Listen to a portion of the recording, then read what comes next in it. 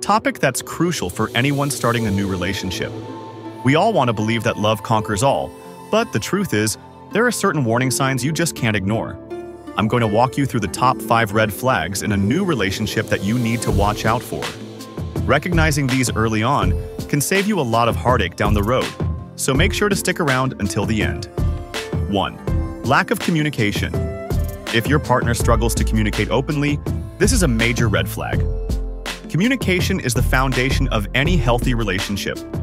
Whether it's discussing feelings, resolving conflicts, or just sharing thoughts, being able to talk openly with each other is crucial.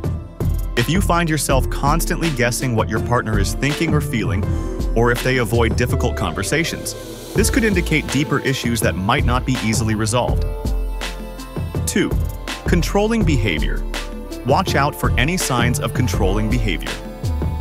This could be as obvious as telling you who you can or can't hang out with, or as subtle as constantly needing to know where you are and what you're doing. Control often stems from insecurity and a need for power in the relationship, and it's a serious red flag. Healthy relationships are built on mutual trust and respect, not control. 3. Disrespecting boundaries. Boundaries are essential in any relationship. If your partner disrespects your boundaries, whether they're emotional, physical, or personal, it's a sign of trouble. This could be pushing you to do things you're not comfortable with, invading your personal space, or dismissing your opinions and feelings. A partner who doesn't respect your boundaries is likely to continue this pattern, which can lead to an unhealthy and potentially toxic relationship. 4. Excessive jealousy.